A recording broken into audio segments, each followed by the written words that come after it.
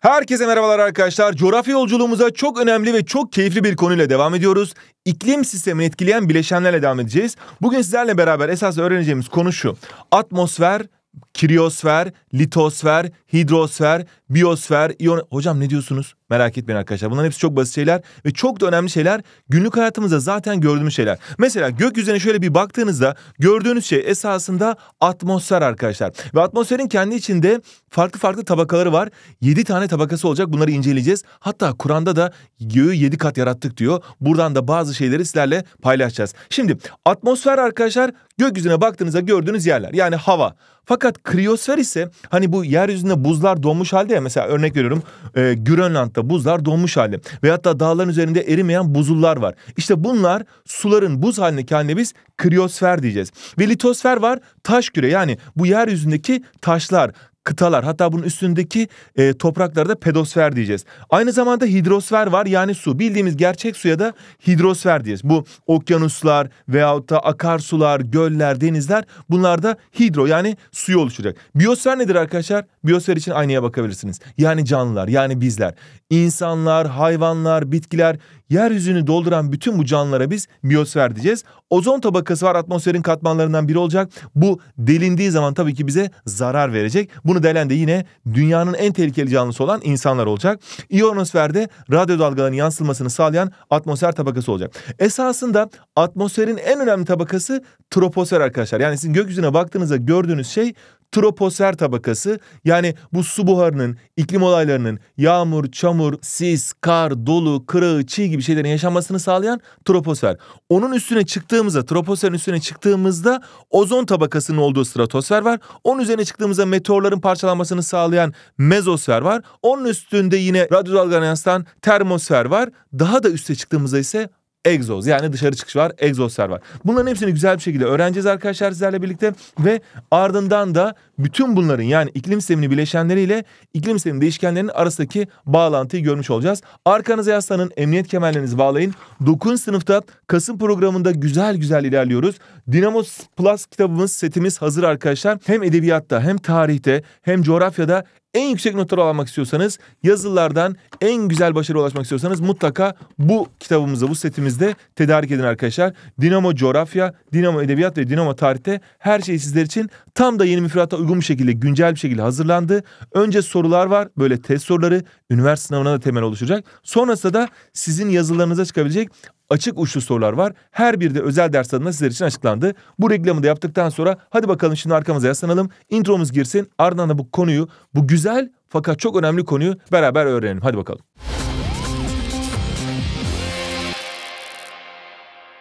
Şimdi arkadaşlar iklim bir bölgedeki hava koşullarının uzun süreli ortalamalarının ve uç değerlerinin genel durumudur. Yani uzun süreli olması lazım. Mesela bugün İstanbul'da hava güneşli. Ama dün çok soğuktu. Ondan önce gün yağmurluydu. Ondan önce gün yine güneşliydi.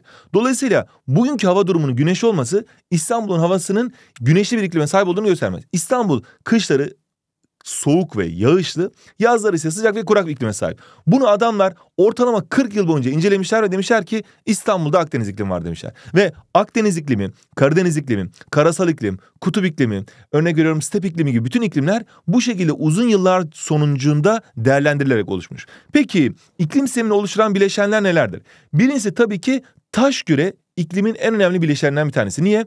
Karaların olması, dağların olması bir yerin daha çabuk ısınıp daha çabuk soğumasına sebebiyet verecek ve buna bağlı olarak da karasal yerler diyeceğiz, daha soğuktur diyeceğiz. Mesela hepiniz duymuşsunuzdur. Ankara ile İzmir aynı enlemlerde olmasına rağmen hatta yakın enlemlerde olmasına rağmen Ankara buz gibidir. Ayazı vardır Ankara'nın. İzmir'de ise hiç kar yağmaz. Denizeldir. Veyahut da daha spesifik bir örnek vereyim. Samsun kutuplara daha yakındır, daha kuzeydedir. Sivas ise ekvatora daha yakındır, daha güneydedir. Ama Samsun daha ılıman bir iklime sahipken Sivas buz gibidir arkadaşlar. Sivas gerçekten soğuktur. Niye? Çünkü Sivas daha yüksek bir yerdedir. Daha litosferin, kayaların, taşların, karaların daha fazla olduğu bir yerde. Demek ki karasallık yani taş küre iklimi etkiliyor. Kriyoser buzul kire de etkileyecek. Bunu da birazdan göreceğiz. Buzullar tabii ki zamanla eridiği zaman da ister istemez bazı olayları, bazı durumları tehlikeye sokacak. Mesela şöyle örnek vereyim. Diyelim ki şu kuzeydeki buzullar eridiği zaman Hollanda'nın sular altta kalacağı düşünülüyor. Veyahut da bazı Venedik'in sular altta kalacağı düşünülüyor. Niye? Deniz seviyesi yükselecek. Buna benzer durumlar iklimi de tabii ki değiştirecek arkadaşlar. Hidrosfer su küre çok çok önemli bir etken. Niye? Az önce söylediğimiz gibi denizel bir yer. Mesela diyelim ki Antalya deniz kenarında. ılıman, İzmir deniz kenarında, ılıman, Samsun deniz kenarında, ılıman, Rize deniz kenarında ılıman hemen Rize'ye çok yakın olan dağların arkası Gümüşhane karasal olduğu için denizi göremediği için deniz olmadığı için soğuk oluyor. Bırakın denizi. Deniz değil de böyle göl kenarındaki Burdur bile göl kenarında olmayan Afyon Karahisar'a göre daha ılıman oluyor. Veyahut da Van. Van soğuk bir yerde yüksek bir yerde ama yine göl kenarında olduğu için çevresindeki diğer şehirlere göre daha ılıman oluyor. Yani göl bile su her zaman bir yerin daha yavaş ısınıp daha yavaş soğumasını sağlıyor, daha ılıman olmasını sağlıyor. Bunu öğreneceğiz. Atmosfere baktığımızda zaten iklimin en önemli unsuru. Yani hava küre, hava olayları yaşanıyor diyoruz ya. Troposferde yaşanacak bunların hepsi atmosfere bir katman olan. İşte atmosfere bağlı olarak nemliliğe bağlı olarak sıcaklık net bir şekilde değişecek arkadaşlar. Dağlara çıktığımızda bakın şöyle göstereyim size. Hatta şöyle bir dünya çizelim bakın şu dünyaya. Dünyanın etrafını saran tabakalara biz atmosfer diyoruz. Tamam çok güzel. Şuraya bir dağ çizin. Dağ çizdiğiniz zaman bak buradaki boşluğa bakın, şuradaki boşluğa bakın. Bak buradaki atmosfer daha fazla. Dolayısıyla dağlara çıktıkça atmosferin kalınlığı azalıyor. Denizlerde atmosferin kalınlığı daha fazla. O zaman deniz kenarı daha ılıman olacak, dağ başları daha soğuk olacak. Hatta o kadar soğuk olacak ki karlar erimeyecek arkadaşlar. Ve şöyle düşünün. Şurada diyelim ki 1, 2, 3, 4, 5 tane yuvarlak var. Yukarı çıkınca 1, 2, 3, 4. Yukarı çıktık 3. Yukarı çıktık 2. Yukarı çıktık 1. Yani yukarılara çıktıkça atmosferin yoğunluğu, nemlilik azalacağından sıcaklık da azalacak. Hatta buna biz diyeceğiz ki her 200 metrede 1 santigrat sıcaklık azalır. Dolayısıyla eğer burası atıyorum 2000 metre yüksekliğine bir dağsa yukarı çıkarsan 10 derece sıcaklığın azalır diyeceğiz. Bu da atmosferin sıcaklığa doğrudan etkisini görmüş olacağız. Biyosfer canlı küre de iklim sisteminin bileşenlerinden en önemlisi. Böyle çok bitkinin yoğun olduğu yerlerde tabii ki iklim etkilenecek. Ve sıcaklığı, hava basıncını, rüzgarları, nemlilik ve ışı bütün bunlardaki farklılaştırma değişecek. Mesela örnek veriyorum sıcaklık. Karasal yerler daha sıcaklık farkı fazla olan yerler olacak. Ya da rüzgarlar denizden karaya, karadan denize rüzgarlar tabii ki buradaki etkenlere, bileşenlere bağlı olarak değişecek. Şimdi birincisi hidrosferle başlayalım. Hidro deyince aklımıza arkadaşlar ne gelecek? Su gelecek. Hidroelektrik enerji santrali yani sudan elektrik üretiliyor. Hidroloji yani su. Hidrosfer yani su tabakası. Hidrosferin en önemli özelliği güneşten aldığı enerjiyi diğer bileşenlere göre daha fazla depolayabilmesidir. Yani Hidrosfer deyince aklımıza ne gelecek? Hemen şöyle bir dünya haritası alıyoruz. Şurada maviyle gördüğünüz her şey hidrosfer. Akarsular, göller, denizler, okyanuslar bunların hepsi su. O zaman bunların hepsi hidrosfer. Ve bunlar enerjiyi yani güneşten gelen sıcaklığı yavaşça emip ve kolay kolay da teslim etmiyor. Dolayısıyla denizler yavaşça ısınıyor ve yavaşça soğuyor. Denizler donmuyor yani dikkat etseniz. Okyanusların depoladığı enerjiyi atmosfere yavaş yavaş vermesi iklim değişkenlerinden olan sıcaklığın hızla yükselmesi ya düşmesini engelliyor. Yani deniz kenarındaki bir yer yavaş yavaş soğuyup yavaş yavaş ısınacak. Yani daha spesifik bir örnek vereyim. İzmir şöyle İzmir'i düşünün. İzmir kış geldiği zaman pat diye hemen soğumaz. Yavaş yavaş soğur.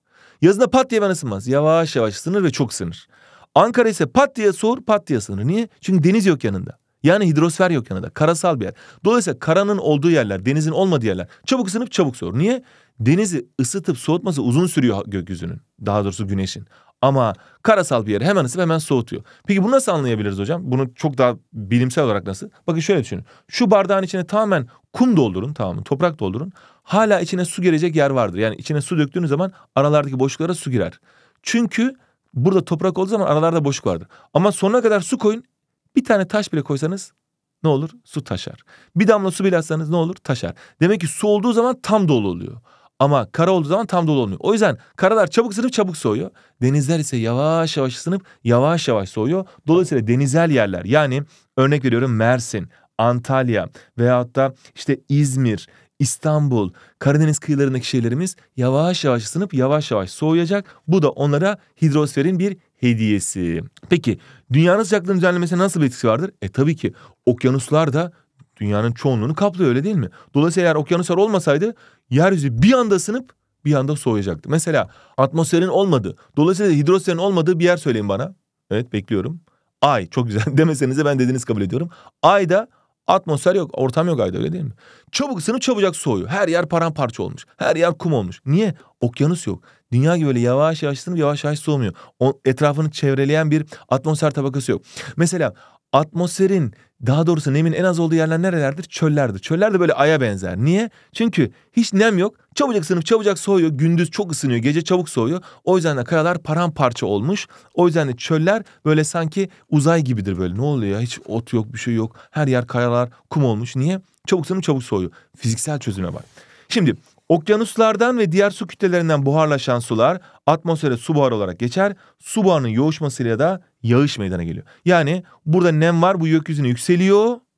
Yükseldikten sonra bulut oluyor. Sonra soğukla karşılaşınca da yağış olarak yeryüzüne iniyor. Buradan yer altına sızıyor. Göllere gidiyor, denizlere gidiyor, yer altında bekliyor. Ve tekrar gökyüzüne yükseliyor, tekrar iniyor. Biz buna su döngüsü diyoruz. Hidrosfer ekvator ve kutuplar arasında enerji taşınımda rol olan okyanus akıntılarıyla iklim sisteminde önemli bir işlev görüyor. Şimdi okyanus akıntıları çok çok değerli arkadaşlar. Bakın burada mavi ile gösterdiklerimiz soğuk su akıntıları, kırmızı ile gösterdiklerimiz de sıcak su akıntıları. Nedir hocam bunlar? Bunlar bulunduğu yerin iklimini bariz bir şekilde etkiliyor. Mesela örnek veriyorum. Bu Burada Oyashio diyor. Oyuyor zaten adı gibi. Soğuk su akıntısı var tamam mı? Burada Kuroshio diye sıcak su akıntısı var. Bu ekvatordan geliyor, bu kutuplardan geliyor. Bunun tam karşılaşma alanlarında inanılmaz balıklar olduğu için Japonlar balık kültüründe dünyanın bir numarası. Sushi oradan gelmiş mesela. Veyahut da şu Gulf Stream sıcak su akıntısı var. Burada sıcak su akıntısı ta kuzeylerdeki Norveç'te fiyortlar oluşmasını sağlıyor. Norveç'in, İsveç'in, Danimarka'nın, Hollanda'nın iklimi şu anda gidin böyle çok soğuk değil yani böyle soğuk ama hani 8-10 derece. Ama biraz aşağı inin Avrupa'nın içlerine gidin. Avusturya'ya gidin mesela. Çekoslovakya'ya gidin yani Çekya'ya gidin. Buz gibi. 5 derece. Ya kardeşim daha aşağı indik. Yani Danimarka'dan veyahut da işte Norveç'ten veyahut da İsveç'ten daha Hollanda'dan daha aşağı daha güneye indiğiniz halde buralar karaların kenarında kaldı. Karaların içine kaldığı için buz gibi oluyor. Karasal oluyor. Ama şu kıyılar yani bu yukarıda kutuplara yakın olan kıyılar daha ılıman oluyor. Niye? Çünkü sıcak su akıntısı var. Adeta buraya Allah sıcak su göndermiş. Hadi bakalım sizi ısıtayım demiş. Anlaştık mı? Şimdi dolayısıyla bu sıcak su akıntısı burayla buranın aynı enlemde yer almasına rağmen daha farklı iklim yaşamasını sağlıyor. Yani şurayla şurası aynı iklimde ama buraya Kanada'dan Yukarıdan Labrador soğuk su akıntısı geliyor. Buraya Gulf Stream sıcak su akıntısı geliyor. Bu ikisi aynı elemde yer almasına rağmen buradaki insanlar mutlu huzurlu bir şekilde fiyortlerde yaşarken yine çok sıcak değil tabii ki yani böyle Afrika gibi Türkiye gibi değil. Ama ılımanken en azından Buradaki adamlar donuyor. Buz gibi. İnsan yaşamıyor burada. Buz gibi. Çünkü niye? Çok soğuk enlemlerde. Dolayısıyla buraya sıcak su akıntısı adeta bir jest yapıyor yani. Buraya bir iyilik getiriyor. Aynı şey burada da var. Alaska sıcak su akıntısı buraların ılımanlaşmasını sağlıyor. Kaliforniya soğuk su akıntısı buraların serinlemesine sebep veriyor. Buradaki isimler önemli. Yani Alaska deyince soğuk, California deyince sıcak bir şey aklınıza geliyor ama tam tersi. Buna dikkat edin arkadaşlar. Veyahut da Peru soğuk su akıntısı buradaki Şili kıyılarının soğuk olmasına sebep verirken Brezilya sıcak su akıntısı buraların Arjantin kıyılarının ılık sıcak olmasını sağlıyor. Dolayısıyla sıcak su akıntıları da iklim sistemine önemli bir etkide bulunuyor arkadaşlar. Geldik litosfere. Litosfer taş küre demek. Yani bildiğiniz taş. Az önce sudaydık şimdi taşa geçtik. Levha hareketleri sonucunda milyonlarca yılda okyanus havzalarının şekli ve derinliği, yeryüzünde karaların coğrafi dağılışları değişiyor ve yeni sıra dağlar oluşuyor. Ne diyorsunuz hocam? Şunu demek istiyorum. Şimdi bak şöyle bir dünya haritasına bakarsanız bir puzzle gibi şu Afrika'yı pıt diye buraya oturtabiliyorsunuz. Gördünüz mü? Bu bunların hepsi birleşikmiş esasında. Bunların ayrı, ayrı, bunların ayrılmasını keşfeden adam Wagner diye bir adam demiş ki kardeşim demiş kıtaların ayrılma teorisini ortaya çıkarmış ve ve bence dünyadaki en önemli buluşlardan birini yapmış. Kıtalar birbirinden ayrılıyor ve ileride birleşecekler ve bu ayrılma sırasında da levhalar hareket halindeymiş. Yani şöyle düşünün bunu her zaman çiziyorum bir kez daha çizeceğim. Şöyle bir kap düşünün. Kabın altına böyle ısı veriyorsunuz tamam mı? Kabın içinde de su var sıcak su olur değil mi? Su ısındığı zaman fokurdamaya başlar. Fokur fokur kaynıyor. Sen bunun içine tahta parçaları koyarsan şöyle kahverengi tahta parçaları koyuyorum. Bak tahta parçaları koyarsan ne olur? Tahta parçaları hareket eder. İşte yeryüzü aynen bu durumda. Yerin derinliklerinde magma var, manto var. Oradan sıcak geliyor. Bu altta su var sıvı halinde. Bu su hareket halinde ve bu su kıtaların levhalarını bakın bunlar kıta bile değil levhalar. Yani şunun birazında Asya var birazında okyanus var düşün. Bu levhaların hareket etmesini sağlıyor. Bu levhaların hareketlerine de biz Aa diyoruz yeryüzü hareket ediyor. Çok şiddetli hareket ettiği zaman aa deprem oldu diyoruz. Esasında yeryüzü şu anda bile hareket ediyor. Şu anda mesela bir seviyesinde, iki seviyesinde, üç seviyesinde depremler oluyor. Ama biz hissetmediğimiz için çok şükür Allah'ımıza deprem olmadı diyoruz. Birazcık şiddetli artıyor, 4-5 oluyor. Allah korusun daha fazlası oluyor. Eyvah diyoruz deprem oldu. Yani yeryüzü esasında sürekli hareket halinde. Bizim hasse bizim hissettiğimiz hareketlere biz deprem diyoruz. Yoksa yeryüzü her zaman hareket halinde. İşte bu hareket halindeki yerler levhalar ve bu levhaların üzerinde de karalar var. Şimdi bak 250 milyon önce böyle Pangea denilen tek bir bütün sonra ayrılıyor ayrılıyor ve günümüzde bu şekilde bir halde. Ve gittikçe de uzaklaşıyorlar birbirinden. Hocam bunu sadece böyle puzzle'a bakarak mı anlamış adam? Hayır. Buradaki bazı hayvanların kemikleri sadece burada görülen bazı hayvanların kemikleri fosilleri buralarda da ortaya çıkmış. Yani bu ikisi birleşken beraber yaşıyorlarmış. Sonra bunlar bu tarafta kalmış, bunlar bu tarafta kalmış ayrıldıkları zaman. Anlaştık mı? Gerçekten inanılmaz bir olayı keşfetmiş adam. Şimdi litosfer rüzgar ve yağışı etkileyerek iklim sistemi üzerinde etkili oluyor. Yer şekillerinin uzanış doğrultusu hem rüzgarların hızını ve yönünü etkiler hem de yağışın nerelere düşeni belirler. Bakın bunları daha güzel bir örnekle gösterelim. Şöyle güzel ülkemize gidelim. Güzel ülkemizde Şöyle dağlar bak kuzeyde Karadeniz dağları var. Burada boşluk var Samsun'da. Burada yine Karadeniz dağları var. Burada Toroslar var. Şimdi bu dağların uzanış doğrultusu yani az önce söylediğimiz litosfer iklimi nasıl etkiliyor? Bak burada dağlar kıyıya paralel ve yakın olduğu için Rize nemli oluyor. Rize'de yağış çok fazla oluyor. Doğu Karadeniz iklimi görülüyor. Ve Rize'de çay yetişiyor. Aynı şekilde Trabzon'da, Ordu'da, Giresun'da fındık yetişiyor. Hatta Rize'de kivi bile yetişiyor. Ama dağların hemen arkasındaki Gümüşhane'de litosfer bu sefer denizel etkinin girmesine izin vermediği için insanlar çok kolay kolay bir şey yetiştiremiyorlar. Ne çayı, ne çayı ya ne çayı, ne kivisi, ne fındığı, ne tütünü bunların hiçbiri yetişmiyor. Böyle yer elması, işte elma, üzüm gibi soğuğa dayanıklı gıdalar, patates, soğan gibi şeyler yetişebiliyor. Niye? Çünkü litosfer yani dağlar izin vermedi ve buranın da çok daha önemli olmasını sağladı. İşte buna benzer bir şey yine aynı şekilde Güneydoğu Asya'da görülüyor. Güneydoğu Asya dediğimiz yer burada haritada çizmişiz ama esas da şurası. Bu haritada çizdiğimiz yer burası tamam mı? Bunu buraya çizmişiz. Burada dağlar var, Hindikuş dağları var. Bu dağlara yazın denizden gelen nemli hava, muson rüzgarları çarpıyor ve burada yazın dünyanın en fazla yağışın oluşmasını sağlıyor. Yani yazın hani denizler yavaş yavaş ısınır, karalar çabucak ısınır dedik ki yazın buralar hemen ısınıyor. Bak burası sıcak yazın tamam mı? Sıcak. Denizler ise yavaş yavaş ısındığı için hala soğuk. Buraya göre soğuk. Rüzgar soğuktan sıcağa yani yüksek basınçtan alçak basınca eser tamam mı? Yüksek basınçtan alçak basınca rüzgar esti mi? Esti. Bu rüzgar okyanustan böyle aldı bütün yağmur sistemlerini aldı. Buradaki dağlara çarpıyor ve dünyanın en fazla yağışı oluşuyor. Nasıl yani hocam dünyanın en fazla yağışı? Daha spesifik örnek vereyim size. Şimdi Türkiye'de en az yağışı İç Anadolu bölgesi alır. Böyle 300 milimetre küp falan yağış alır tamam mı? En kurak yerler Güneydoğu Anadolu bölgesidir buharlaşmadan dolayı. 500 almasına rağmen buharlaşmadan dolayı burası daha kuraktır ama 300 burası alır, 500 burası alır. Ne bileyim işte Akdeniz 1000 milimetre küp yağış alır bir yılda. İşte Karadeniz 2500 metreküp yağış alır bir yılda. İşte Muğla da çok yağış alır. 2000 metreküp yağış alır. İstanbul binlerde, 1200'lerde falan. Böyle gider tamam bir yılda. İngiltere'ye gidelim. O dünyanın en yağış yeri. 2000-2500 metreküp yağış alır bir yılda.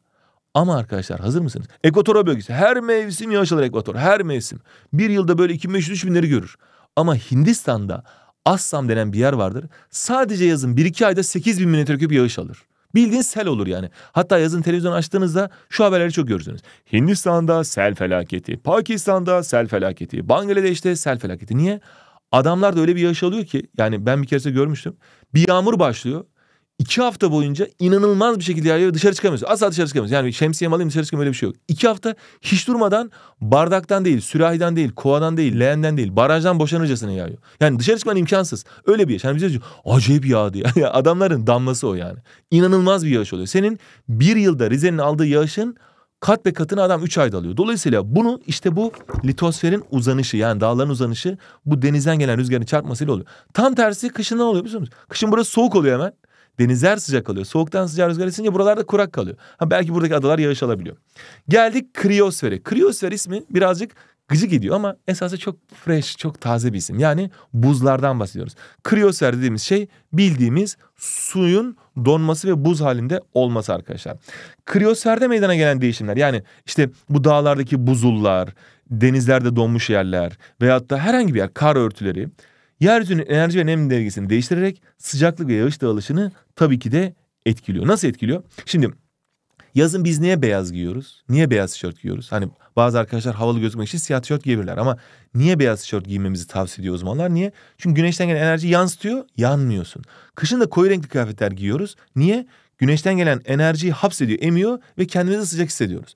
Dolayısıyla hani e, akılsızın şaşkını beyaz giyer kış günü. Niye beyaz giymesin ki? Güzel işte tertemiz. Aman o zaman da ışığı yansıyacak donacak demek istiyor yani. Onu coğrafya açıdan söylüyor. Neyse şaka bir yana. Bu buzullar arkadaşlar. Bu buzullar güneşten gelen enerjiyi yansıtıyor. Yok kardeşim biz iyiyiz böyle diyoruz. Biz yanmıyoruz diyor. Yansıtıyor ve dolayısıyla da burada daha soğuk bir hava hissediliyor. Burada ise yansıtılma daha az. %80-90'ı emiliyor bak. Burada ne demiş? %80-90 emiliyor. %10 yansıtılıyor, %20 yansıtılıyor. Burada 85-90 yansıtılıyor, %10-15 emiliyor. Aynı e, koyu renk kıyafet giymek ve açık renk kıyafet giymek gibi. Burada yeryüzü koyu renk kıyafetler giyiyor, pardon bu tarafta ve emiyor sıcaklığı. Oh sıcacık. Burada ise beyaz giymiş kış günü e, iyice donuyor bu sefer kutuplar. Şimdi buzulların erimesi deniz seviyesinin yükselmesine neden olarak iklim sistemini etkiliyor tabii ki. Deniz seviyesi yükseldiği zaman sular altta kalacaksın. Kriyosferi oluşturan unsurlardan biri olan permafrost, donmuş topraklar organik karbon içeriyor. Bu topraklar çözündükçe yani eridikçe atmosfere sera gazları karbondioksit ve metan salınabiliyor.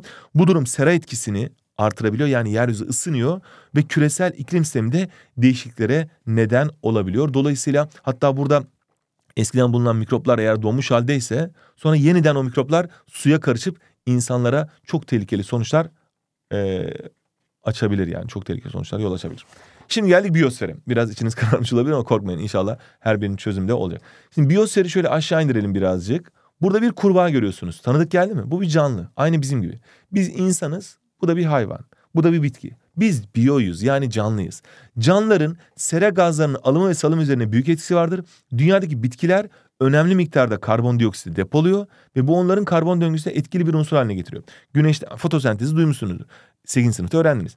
Güneş geliyor ve karbondioksiti emip oksijen veriyor yeryüzüne değil mi? Dolayısıyla bu olayı iyi bilmemiz lazım. İşte bu bitkilerin çok olması yani biyosferin canlıların çok olması ister istemez ısıyı, ılımanlığı, iklimi etkiliyor. Bitki örtüsü aynı zamanda yüzey albedosu veya güneş ışını yansıması yoluyla da gezegen iklimini etkiliyor. Albedo dediği niyene ısının emilmesi. Şimdi bitki örtüsünün yüksekliği ve yoğunluğu yani böyle çok ormanlık bir yerde yeryüzünün pürüzsüzlüğünü şekillendirerek rüzgarın hızını ve yönünü etkiliyor. Değil mi? Ormanların içinde bitkiler daha doğrusu rüzgarlar istediği gibi gidemez. Ama düz bir çölde rahat rahat esiyor. Okyanuslarda rahat rahat esiyor. İnsan insana geldik. Maalesef bizdeyiz arkadaşlar. Şu an insana geldik. Bakın ne olacak. Hep nasıl kötü şeylerden bahsedeceğiz. İnsan faaliyetleri sonucunda atmosfere karışan karbondioksit ve diğer gazlar atmosferin yapısını değiştirerek yeryüzünün daha fazla ısınmasına yol açıyor. Arabalardan, fabrikalardan çıkan gazlar yeryüzünün maalesef sadece kirlenmesine değil ısınmasına da sebep veriyor. Isındığı zaman da iklim değişiyor. Okyanus, deniz ve göllerde yaşayan fitoplanktonlar atmosferde karbondioksit oranını etkileyerek iklim sistemi üzerinde de maalesef rol oynuyor. Şimdi geldik atmosfere. Atmosfer iklimin en önemli elemanı. Atmosferin iklim sistemi açısından en önemli şey dünyanın enerji dengesini düzenliyor. Yani dünyanın etrafını sarıyor bir anda ısınıp bir anda soğumayı engelliyor ve iklim olaylarının yaşanmasını sağlıyor. Bakın en altta şöyle gökyüzüne baktığınız zaman gördüğünüz bulutlar troposfer. Onun üzerinde stratosfer var, sonra mezosfer, termosfer ve en üstte de egzosfer var. Burada şu çok önemli arkadaşlar. Troposfer en önemlisi. Niye? Çünkü bütün su buharı burada, iklim olayları da burada görülüyor. Bulutlar bir taraftan güneş ışınımını yansıtırken diğer yandan da yeryüzündeki ısıyı bir battaniye gibi hapsediyor. Gerçekten de bulutlu havada daha az üşürüz arkadaşlar. Mesela Ankaralılar veyahut da karasal yerlerde yaşayanlar bunu bilir de bizim gibi İstanbul'da yaşayanlar bunu bilmez. Biz deriz ki ya hava bulutlu soğuk olacak deriz. Niye? Çünkü etrafımızda deniz var. Bulutun değerini bilmeyiz. Ama karasal yerlerde yaşayanlar Sivas'ta, Nevşehir'de, Ankara'da böyle denizin olmadığı yerde yaşayanlar hava bulutsuz olduğu zaman eyvah soğuyacak derler kışın. Eyvah ayaz olacak. Akşam yeryüzü çok fazla ısı kaybedecek. O yüzden beremizi alalım yanımıza derler. Atkımızı alalım akşam çok soğuğa çalacak derler. Ama İstanbul'dakiler bunu bilmez. Havaya bakarlar hava güneşli iyi ya der yani akşam da iyi olacak. Niye? Hava akşam bir anda soğumaz. Etrafta bulutlar var yani deniz var. Deniz yeryüzünün çabucak ısınıp çabucak soğumasını engelliyor. Ama Ankara'da deniz olmadığı için bir de bulut olmayınca hayda ısıyı hapsedecek battaniye yok. Isı hapsedecek bir örtü yok. Güneş gelir tamam güzel ama akşam hepsi gider. Ve bu yüzden de akşamleyin güneşli havalarda karasal yerlerde ayaz olur. Ayaz dediğinizde biliyor musunuz? Bildiğin donuyorsun yani böyle kulağın cips gibi oluyor. Ben Ankara'da büyümüştüm biliyorum. İnanılmaz soğuk oluyor. Şimdi sera gazları özellikle karbondioksit su buharı kızılötesi ısı enerjisinin uzaya kaçışını da engelliyor arkadaşlar. Yani şunu çok iyi bileceğiz. Şuraya çiziyorum.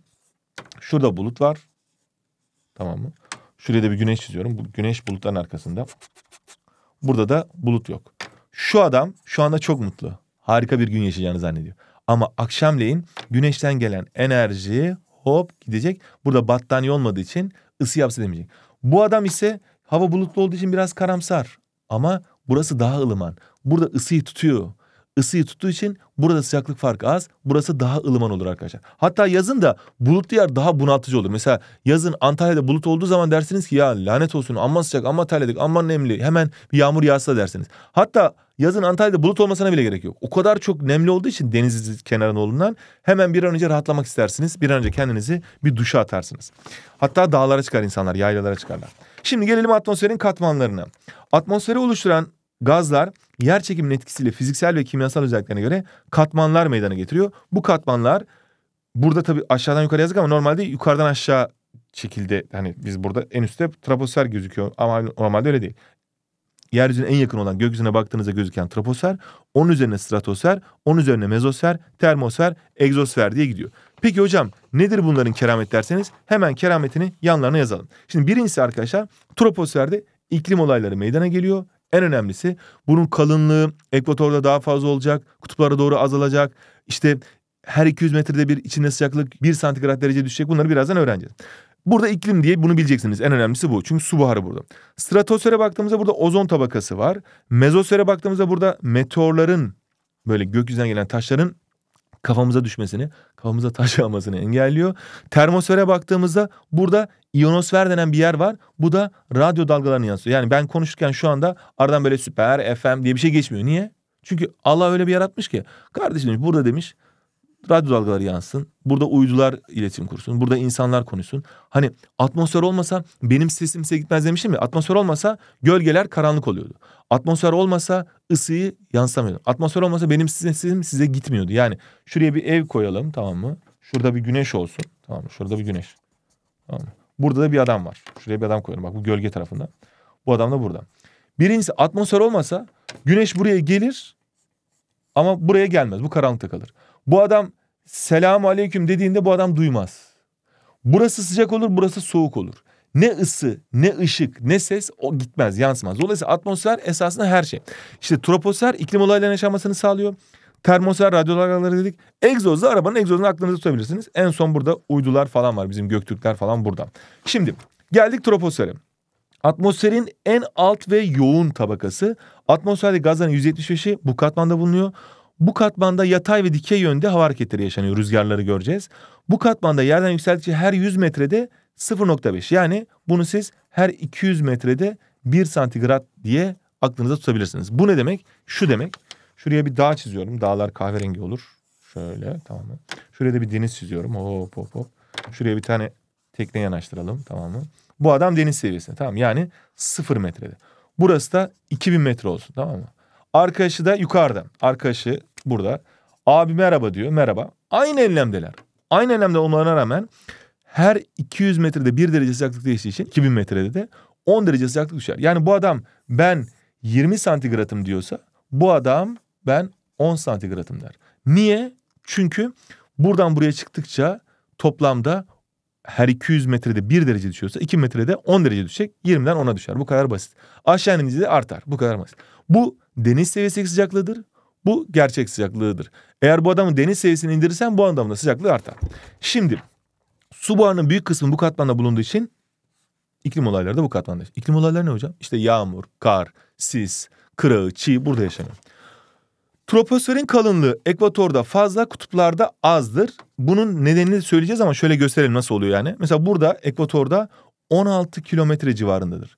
Biraz yukarı çıktığınız zaman bizim olduğumuz yerlerde mesela orta kuşakta 12 kilometre civarında. Kutuplara geldiğinizde ise 10 kilometreye düşer. Birincisi arkadaşlar ekvatorun sıcak olduğunu biliyoruz değil mi? Ekvator sıcaktı, kutuplar soğuktu. Şimdi sıcak ısınan hava yükseliyor. Ekvatorda havanın sürekli ısınarak yükselmesi ve kutuplarda havanın sürekli soğuyarak alçalmasından dolayı Burada hava ısınıyor, yükseliyor, troposfer kalın. Burada hava soğuyor, aşağı iniyor, troposfer ince. Kutuplarda yer çekimi ekvatordan fazla. Yani şöyle dünya tam küre değildi. Şöyle kutuplardan basıktı. Basık olduğu için kutuplar yerin merkezine daha yakın. O yüzden yer çekimi daha fazla. Yer çekimi daha fazla olduğu için de troposferin kalınlığı daha az kutuplarda. Dünyanın kendi ekseni etrafında dönüşünden kaynaklanan çizgisel hız da ekvatora daha fazla. Yani dünya şöyle dönerken şöyle döndürüyorum hop. Bu tam tombiş olan kısım yani ekvatorda dünya çizgisel hızı daha fazla. Burada güneş daha çabuk doğup daha çok batıyor. Yani siz ekvatora giderseniz sevgilinizle şu anda gençsiniz daha evlenmemişsinizdir. Burada romantizm süresi çok az arkadaşlar. Yani eğer böyle e, Kenya'ya ya da ne bileyim Dubai'ye, Maldivlere giderseniz güneş böyle pat diye batıyor. Ya diyorsun ki bak bir tanem güneş ba- battı pardon. Hiçbir romantizm yaşamıyorsunuz. Ama biraz yukarılara mesela St. Petersburg'a gidin mesela Moskova'ya gidin. Güneş yavaş yavaş batıyor. Çok yavaş batıyor. Tam romantizmin zirvesine çıkarsınız. Kutuplara giderseniz güneş batana kadar ikiniz ölürsünüz. Çünkü 6 ay doğup 6 ay batmıyor. Yani böyle bir tanem donmuş. Böyle olur yani hiçbir şey olmaz. Burada daha da yavaş. Dolayısıyla ekvatorda çizgisel hız fazla. O yüzden de bu da troposferin daha kalın olmasını kutuplarda ise daha ince olmasına sebep veriyor. Geldik stratosfere. Troposferden yukarı çıktık. Şimdi troposferin üstünde 50 kilometreye kadar olan katman sıcaklık ortalama eksi 50 derece civarında jet rüzgarlarda verilen yatay hava akımları görülüyor. Ozon tabakasının büyük bir kısmı bu katmanda yer alıyor. Yani ozon tabakası stratosfer. Hemen şuraya ozon diye yazalım. Ozon ne hocam? Hani güneşten gelen zararlı ultraviyole ışınları burası tutuyor. Burası olmasa coz diye yanacağız. Hepimiz Allah korusun hasta olacağız. Şimdi Ekvator ile kutuplar arasındaki sıcaklık farkı nedeniyle bak kutuplar soğuk, ekvator sıcak ya. Troposferin üst sınırında jet rüzgarları da verilen ve saatlik hızı 500 kilometreye varan güçlü hava akımları oluşuyor. Bu yüzden mesela İstanbul New York seferi 11 saat sürerken yani İstanbul'dan New York'a 11 saatte gidiyorsunuz. Ama dönüşte size rüzgarlar yardım ettiği için 9 saatte dönüyorsunuz. Rüzgar ittiriyor sizi sanki. Anlaştık mı? Hani bisikletle yokuş çıkmak ve yokuş inmek gibi düşünün. Ozon tabakasından da biraz bahsedelim.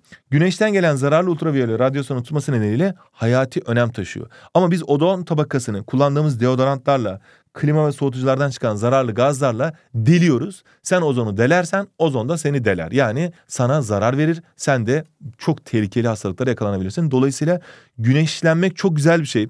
Güneşten D vitamini depolamak çok güzel bir şey ama çok güçlü kremler kullanmak gerekiyor. Böyle çıplak bir şekilde güneşin altına çıkarsanız eğer ozon tabakasının da tam böyle delindiği bir yere denk gelirseniz tabii öyle bir şey yok tabii de. Hani o şekilde ozon tabakası zarar gördüğü için inanılmaz tehlikeli hastalıklara yakalanabilirsiniz. O yüzden dikkatli olmanız lazım arkadaşlar. Geldik buraya. Mezosfer. Mezosfer arkadaşlar atmosfere giren gök taşlarını durduruyor.